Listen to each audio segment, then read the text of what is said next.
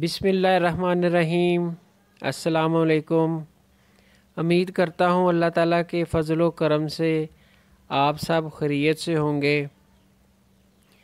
آج کی ویڈیو کا ٹاپک ہے چسٹ انفیکشن اور چسٹ انفیکشن کے باعث جو بلڈ میں کلوٹنگ یعنی خون جمنا شروع ہو جاتا ہے، مختلف جو ہماری بلڈ ویسلز ہیں، خون کی رگیں ہیں، خون کی نالیاں ہیں، ان میں خون جم جاتا ہے اور ریشہ چھاتی میں جم جاتا ہے نمونیا کی کیفیت پیدا ہو جاتی ہے۔ ان تمام امراض سے اس کے علاج کے لیے آج آپ کو ایک نسخہ، جو ہربل نسخہ ہے، وہ میں بتاؤں گا۔ اور اس کی ڈیٹیل بتانے سے پہلے جو آج کل خون میں بلڈ کلوٹنگ ہو جاتی ہے نمونیے کی جب شدت ہوتی ہے تو مختلف جو ہماری خون کی نالیاں چاہے وہ سر کی ہیں دماغ کی ہیں یا دل کی ہیں یا جگر کی ہیں، مختلف جو خون کی نالیاں وہاں پہ بلڈ جمنا شروع ہو جاتا ہے تھرمبوسس کی کفیت پیدا ہو جاتی ہے یعنی بلڈ جم جاتا ہے اور اس میں ٹرائیگلیسرائڈز کا لیول جو یکدم انکریز کر جاتا ہے، جس کے باعث پچیدگیاں پیدا ہوتی ہیں۔ اور یہ جو ہے، یہ پھر آپ کے، جو لنگز ہیں، جو آپ کے پھیپڑے ہیں، اس میں بھی انفیکشن کی شدت کا باعث بنتا ہے اور خون آپ کا گاڑا ہونا شروع ہو جاتا ہے۔ اگر چسٹ میں انفیکشن بڑھ جائے اور آپ کی جو نالیاں ہیں، بریک جو لنگز میں پھیپڑوں میں پائی جاتی ہیں، ان میں ریشہ بھر جائے اور سانس لینے میں تنگی ہوتی ہے کیونکہ جو اس کی جو ڈایا میٹرز ہیں اس کے پھیپڑوں کی جو بریک رگیں ہیں، جو پھیپڑوں میں بریک رگیں پائی جاتی ہیں، ان میں ریشہ جم جاتا ہے اور ان میں جو بلڈ سپلائی ہوتا ہے، وہ بھی بلڈ بھی جمنا شروع ہو جاتا ہے، جس کے باعث سانس میں تنگی ہونا شروع ہو جاتی ہے اور چسٹ میں پین شروع ہو جاتی ہے۔ اگر یہ خون گاڑھا یعنی ٹرائیگلیسر بڑھ چکا ہے، خون گاڑھا ہو چکا ہے، جس سے دل جو ہے وہ اس کو پراپر اس کی جو فلو ہے، اس کی جو موومنٹ ہے، وہ نہیں رہتی۔ بلڈ کی بلڈ نالیوں میں آہستہ آہستہ فلو کرتا ہے۔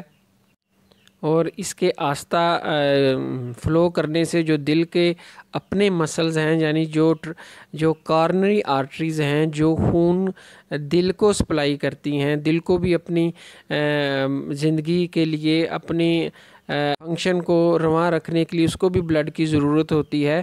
تو اس کی جو کارنری آرٹریز ہیں، ان میں بھی اگر خون جم جائے تو موت واقعہ ہو سکتی ہے۔ اور یہ سارا پروسیجر تبھی ہوتا ہے جب خون آپ کا گاڑھا ہو جاتا ہے اور ٹرائیگلیسرائڈز بڑھ جاتے ہیں یکدم انفیکشن کی صورت میں، تو جو دل ہے وہ سپلائی بلڈ نہیں کر سکتا اور وہ اس، وہ تھک ہو جاتا ہے، جس کے باعث وہ اگر آپ کے دماغ کی طرف وہاں کوئی سدھا اٹک گیا ہے، وہاں کلوٹنگ ہو گئی ہے، وہاں تھرومبوسس کی کفیت پیدا ہو گئی ہے۔ تو وہاں دماغ کے جو رگے ہیں، وہاں بھی اگر کلوٹنگ ہو جائے تو وہاں پہ وہ نالی جو ہے، وہ بریک خون کی نالیاں پھٹ جاتی ہیں، جس سے وہاں پہ تو برین ہیمریج ہو سکتا ہے، اس سے بھی موت واقعہ بھی ہو سکتی اور فالج بھی ہو سکتا ہے۔ ان تمام امراض سے بچنے کے لیے آپ کو ایک ہربل آزمودہ نسخہ بتا دیتا ہوں۔ آپ اس کو استعمال کریں اور اس تمام کفیت سے آپ چھٹکارا حاصل کر سکتے ہیں۔ اس میں آپ نے کیا کرنا ہے جی؟ ملٹھی لینی ہے۔ ملٹھی کا پاؤڈر بنا لیں، وہ آپ لیں اور اس کے علاوہ جنگلی پودینہ لینا ہے یہ اپنے جنگلی پودینہ پچاس گرام لینا ہے اور ملٹھی بھی پچاس گرام لینی ہے۔ اس کے علاوہ آپ نے کلونجی جو ہے، وہ آپ نے لینی ہے بیس گرام۔ اس کے ساتھ ہم لیں گے جی سونٹ، جس کو جو ادرک خشک ہوتی ہے، یہ بھی ہم سونٹ جو ہے، یہ بھی پچاس گرام لیں گے۔ اس کے بعد ہم ہلدی لیں گے، ہلدی ثابت لینی ہے۔ پاؤڈر نہیں لینا، اس کو خود آپ نے پاؤڈر بنانا ہے، یہ بھی آپ نے پچاس گرام ہی لینی ہے۔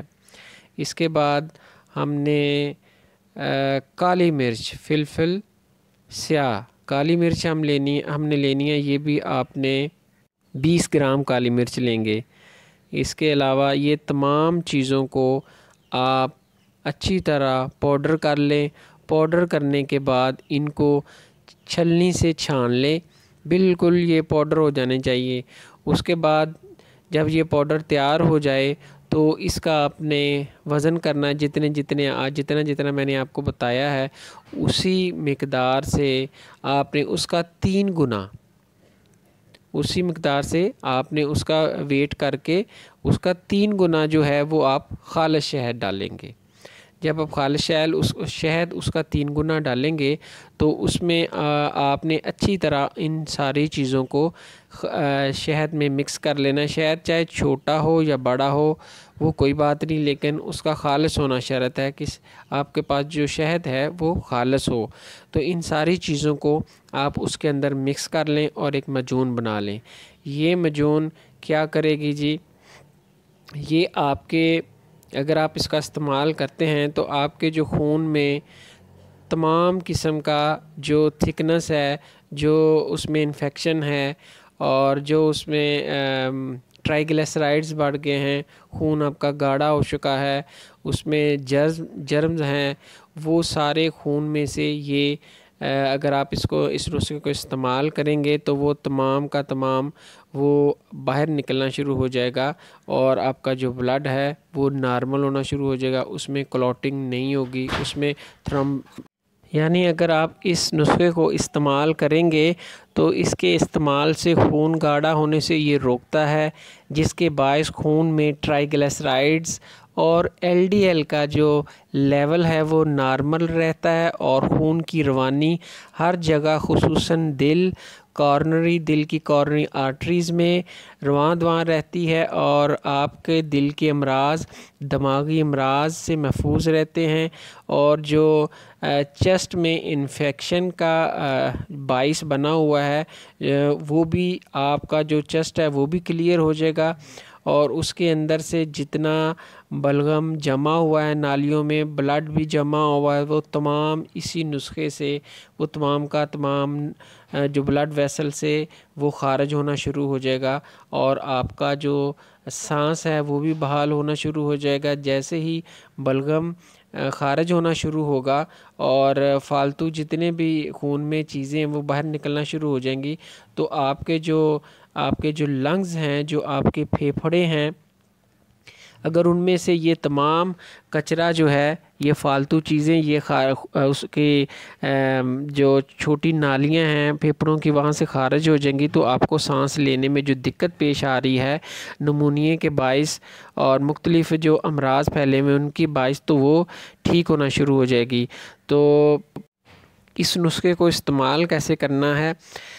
اس میں آپ نے کیا کرنا ہے کہ جب یہ مجون آپ کی تیار ہو جائے، تو اس کو آپ نے ایک چائے والا چمچ یہ جو مقدار خوراک بتانے لگا ہوں، یہ بالغ بندے کے لیے ہے، بڑے جوان بندے کے لیے۔ تو اس کو ایک چائے والی چمچ صبح اور ایک چائے والی چمچ شام کو کھانے کے بعد آپ لیں گے، ساتھ گرم پانی کا استعمال کریں گے۔ اور اس سے جو میں نے آپ کو بتایا ہے، بتائی ہیں چیزیں یعنی آپ کا جو چسٹ ہے وہ بھی کلیئر ہو جائے گا، آپ کا بلڈ بھی کلیئر ہو جائے گا۔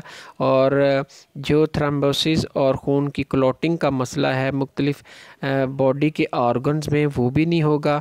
لیکن اس کے ساتھ آپ نے پریز کرنا ہے۔ پریز کیا کرنا ہے؟ تمام ٹھنڈی چیزیں۔ چاول، بھنڈی نہیں کھانی۔ اس کے علاوہ آلو، مٹر، گوبھی، بڑا گوشت، یہ بھی آپ نے نہیں کھانا اس کے ساتھ۔ اور اس کے علاوہ جی سنگاڑے ہیں شکر کندی ہے، یہ ساری کی ساری اور ٹھنڈے مشروبات، یہ ساری چیزیں آپ نے بند کرنی ہیں کیونکہ یہ خون کو مزید گاڑھا کرتی ہیں اور ٹرائیگلاسائڈس کا جو لیول ہے وہ زیادہ کر دیتی ہیں اور بلغم زیادہ بناتی ہیں، جس کے بعد سانس لینے میں تنگی ہوتی ہے۔ اگر آپ یہ نسخہ استعمال کریں گے تو آپ کا جو چسٹ میں انفیکشن سوزش، درد ہے، وہ بھی ٹھیک ہو جائے گا۔